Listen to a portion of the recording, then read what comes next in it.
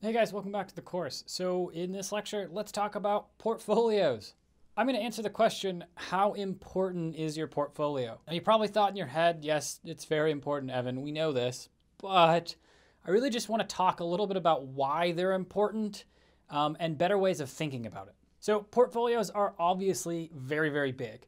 Uh, if since you're new to web development, or maybe you are just new in general, you probably haven't noticed that every single development firm or freelancer has at least some form of a portfolio.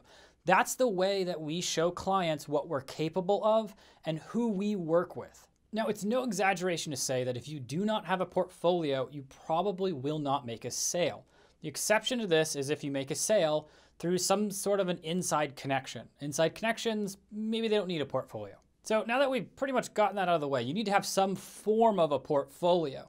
Let's talk a little bit about what clients look for. Now, there are a lot of big things that clients look for, and the more important ones are the things that are actually happening subconsciously, things that they're not consciously looking for or thinking about. So the three things that I've noticed over and over again Clients first look to see whether or not you have consistent high quality across your portfolio. Then they're gonna look for whether or not they recognize any of the applications or sites that you have in it.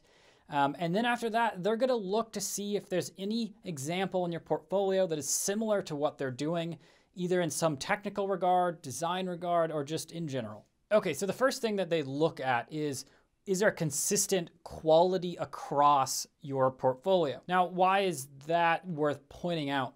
If I look at five websites or apps you made, I'm going to expect that each one is going to be consistent in how good they are, how functional, how pretty they are. Now, if I were to look at five, one is fantastic, one is terrible, and then three are okay, what does that signal to me? It signals to me that I don't actually know what I'm going to get, right? Because one out of five chances uh, say that I'm going to come back with something terrible, and 60% of the time I'm going to come back with something that's okay. So typically, clients, whether or not they recognize this, they're more interested in um, they whether or not they can see that you constantly produce the same quality.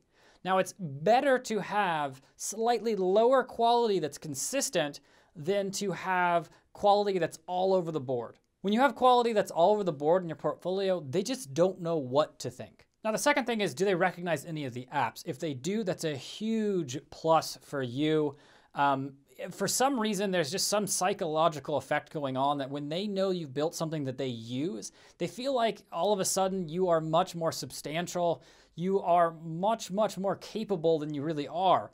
Um, not to say that you're not capable, it's just that for some reason, if I know that you've built something that affects my life already or affects lots of other people, I'm obviously going to put you on a much higher pedestal.